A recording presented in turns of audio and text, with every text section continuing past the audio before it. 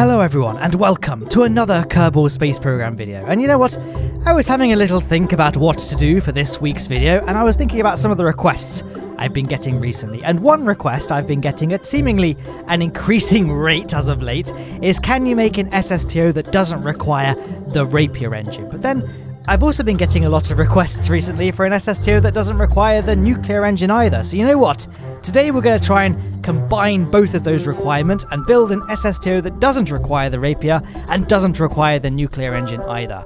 We're only going to be using the Aerospike for this craft that you can see forming before your eyeballs on the screen. Now, some of you may be aware that I have in fact made an Aerospike SSTO before, but this was all the way back in 2017, so I feel like enough time has passed that a lot of viewers now won't have seen that video, but more importantly, I'm just not very happy with that video itself. Like, I don't really mind the video, I suppose, but the actual craft I don't think was very good. Like it looked very ugly, which admittedly is one of the driving factors for me wanting to redesign it, but it couldn't carry very much to orbit either.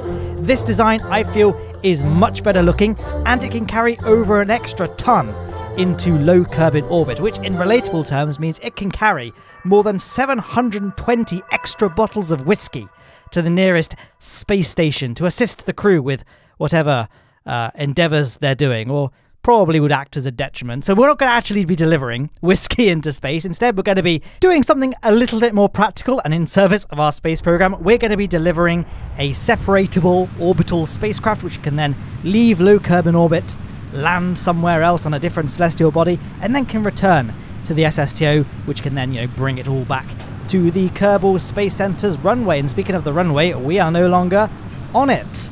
There's me segueing to talk about the footage for once in my videos. Uh, it's a very, very steep ascent. Obviously, we're not using air breathing engines, so no need to spend loads and loads of time in the lower atmosphere picking up speed. We can just do basically once we're off the runway, we're going to be basically flying this like it were a rocket. So going straight upwards pretty much, trying to tip over gradually to 45 degrees on the nav ball by the time we reach the 10 kilometer mark. You guys probably know how rockets fly in Kerbal Space Program at this point, so I won't spend too much time talking about the ascent itself. Just going back to the mission profile quite quickly. Uh, again, it is fairly similar to my last Aerospike SSTO mission, but I feel like it's cooler because, again, the last Aerospike mission, it didn't have as much payload capacity as this particular SSTO does, so the actual spacecraft that it deployed was unmanned, it was just a robotic probe. It could land on the Mun and then just do a bit of science and then come back, but that's not very exciting. So this one is not only going to be a spacecraft that can go somewhere else, it is going to be a spacecraft with a command pod built into it. I don't know why I'm saying all of this like you didn't see the time lapse, although I guess maybe some people skip the time lapse just to get straight to the video. So for those that skipped the time lapse, it's going to be a spacecraft with a command pod on board so that it can go and you know do something on another planet, but bring a Kerbal with us so we can do the all important flag plant on the surface of wherever it is we go. I feel like I'm keeping it a secret, the destination, even though I might, I might in fact put it in the thumbnail or description or the title. I don't know yet. So I'm maybe there's suspense, maybe there isn't. Let's just press on. Now I'm going for an orbit of hundred kilometers, which is a bit higher than you need. The minimum you need is 70 kilometers, though I always recommend about 75 as the minimum, just because you do need to have some space in order to do your orbital insertion burn. But you know, 100 kilometers is a nice round number, and it helps guarantee that this SSTO definitely, definitely will make it into orbit for people. If you don't get quite as efficient of an ascent as me, just aim for a lower apoapsis and you should be fine.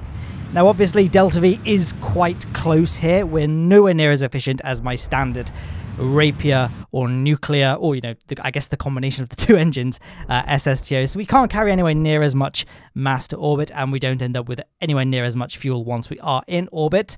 But we are in orbit nonetheless with plenty of Delta V left to spare. Remember, we only need enough fuel now to deorbit ourselves, so it doesn't really matter that we don't have very much fuel left over.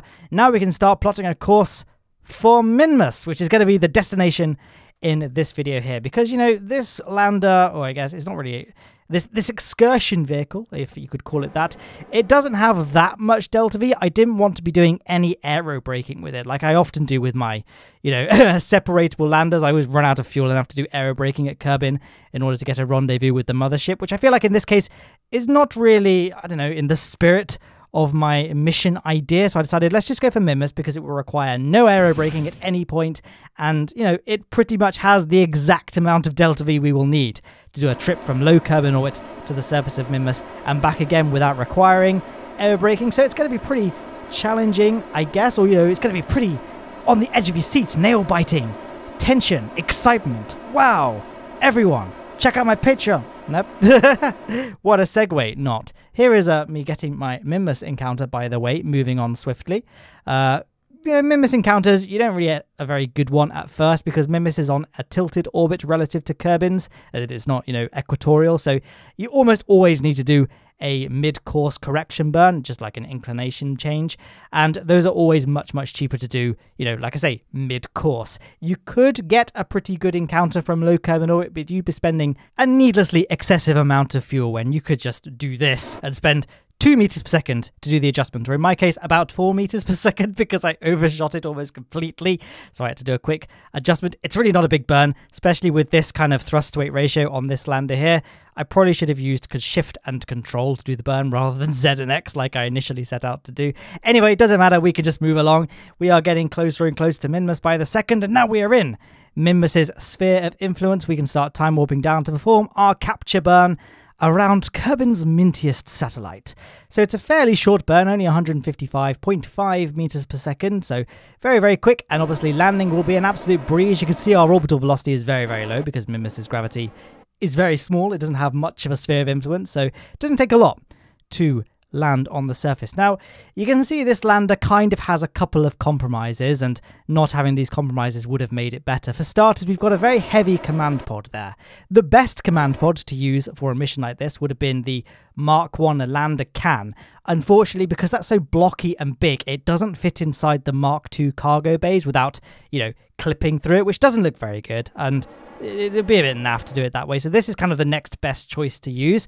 Um, I guess I guess I could have used one of the Soviet style ones from the uh, Making History DLC, but I prefer the look of this one, and it's fine. Once you drain the monopropellant, it doesn't weigh that much more than its Russian counterpart. So that's one of the compromises I had to make with this lander. The other is about to be made manifest, you can see it doesn't have any proper landing legs. Because again, even the smallest landing legs, when radially attached to those tanks, will clip through the Mark II cargo bay, which again, looks a bit naff. So I kind of made these custom ones using those cubic octagonal struts, which would have worked well if I'd landed on the Minmus flats. But, you know, me and my arrogance decided, no, I always land on the Minmus flats. Let's land somewhere more interesting, in possibly the worst craft to make that decision for. As you can see, as soon as Valentina gets out, uh, it just tips over. We really needed a wider landing base for landing on a slanted surface, but whatever, it's Minmus. The rocket can easily right itself using the onboard SAS, but I guess for, I don't know, realism purposes or just having the crafts you know look magnificent on the surface of the moon it, probably would have been better to land on the on the flats of Minmus to be honest but there you are there's an example of how good the SAS units are inside that uh, command pod doesn't really help us the once we're out, the SAS disengages and it falls over again. So Valentina, you're to have to be really, really quick with your flag plant. Quickly, quickly, quickly. It's rolling away and it's to... we don't want to... It's probably to be fine, but we don't want to risk it hitting one of the solid objects that appears from the Breaking Ground DLC. And we also don't want it to... uh, You know... Oh, well, that being said, Valentina has also been content with smashing her face into it, so who knows what Valentina's real motives are. But we can quickly roll it over so we can access the hatch and get ready to insert ourselves into an orbit, which you could do pretty much immediately by flying flat. It doesn't take very much uh, Delta V at all to launch into Minmus, or we can see very quickly, there we go. Already probably overcooked it. I forgot that I should probably be looking out for terrain ahead of me, and I realized I was about to smash into this uh, hill peak just here. So I had to waste some fuel doing a radial outburn to make sure I was definitely going to stay clear of the terrain, but I feel like it's worth it if we're saving Valentina's life. And more importantly, you know, our science data will be saved by doing a maneuver like that. But anyway, as you can see, we have now entered a nice, safe, and stable Minmus orbit, which means we can now get to planning the next phase of this mission, which is getting back down to low Kerbin orbit and redocking with the SSTO. Yes, Jebediah and Valentina can be once again united. We can obviously get all the science off the lander and put it into the cockpit of the SSTO, though now I say that out loud, doesn't really matter that much because we're taking both things back to the runway. I guess it's probably be a more realistic thing to do because the cargo bay is not as safe as the inside of the cockpit, or at least I'd like to hope that's the case. I don't know.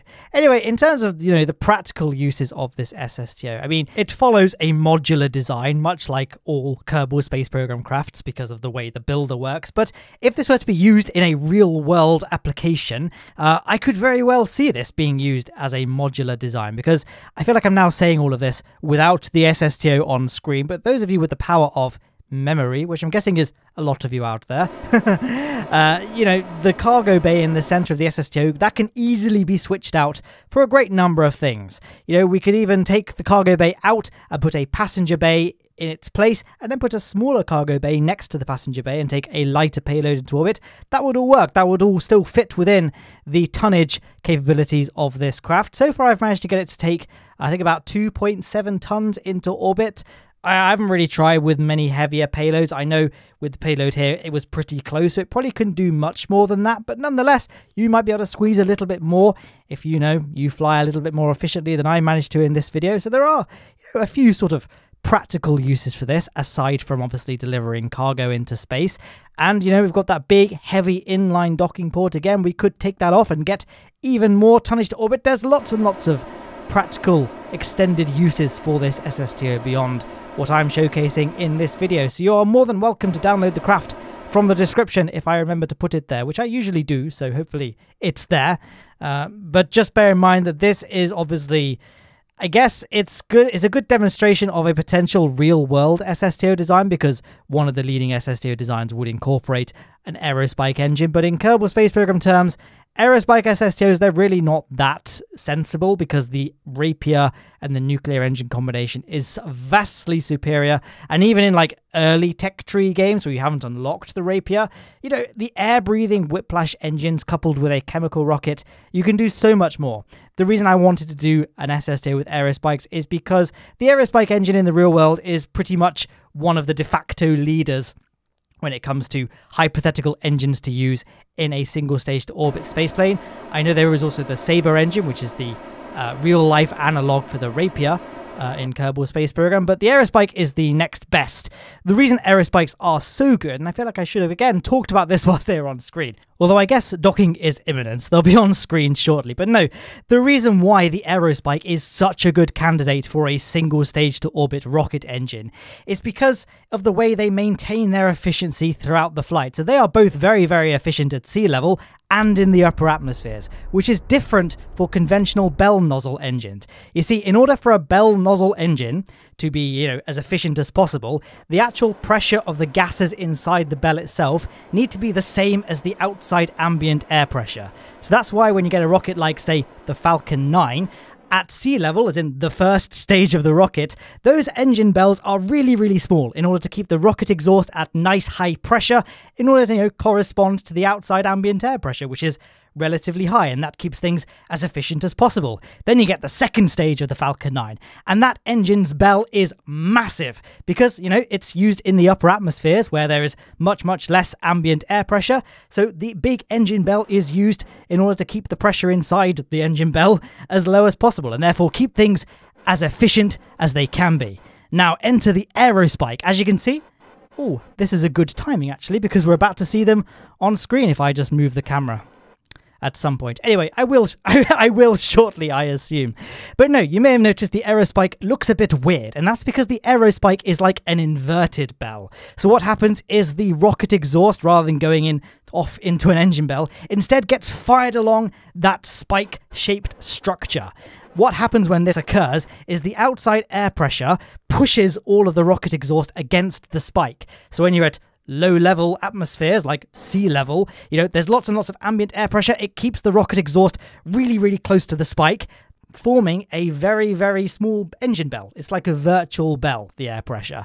Anyway, as the rocket ascends, the air pressure relaxes and lessens, and thus the actual amount of pressure exerted on the actual rocket exhaust lessens, and that virtual bell shape then expands. So it's almost like having a normal bell shaped engine where the nozzle gradually expands in order to match the actual ambient air pressure, thus creating a maximally efficient engine at all heights, which is really, really good in theory. And again, that's why it's a really good candidate for a hypothetical single stage to orbit vehicle. But the reason it's never really been done you know, on paper, it seems to be the perfect engine. Why aren't we using aerospikes exclusively? There are a few disadvantages, unfortunately, to an aerospike. The main disadvantage is the weight of the spike required. You know, any like gram of extra mass on a rocket is considered really, really significant. Having this hunk of metal built into the engine is going to increase the weight of the rocket. And, you know, it is a hunk of metal that is going to be exposed to rocket exhausts for a huge amount of time. It's going to take a lot of effort to keep that thing cool and stop it from melting. So you got the extra weight. You need to add all of those systems to keep it cool. And, you know, we've never tested this. We've got engine test stands and we've got aerospikes quite far along production in terms of you know their development, but we still never really tested them on a rocket. So that would be another uh, turn off for rocket builders. We we're pretty good at this point at using conventional bell nozzles. Another issue is that aerospikes work quite poorly around Mach 1 to 3 because the airflow around the vehicle reduces the pressure, which then, you know, reduces the thrust of the engine as well. So, you know, aerospikes remain a thing of the future for now, and I'm confident at some point we'll perfect it and we'll see aerospikes in the real world, but today ain't that day, folks, and who knows if and when we'll ever get them.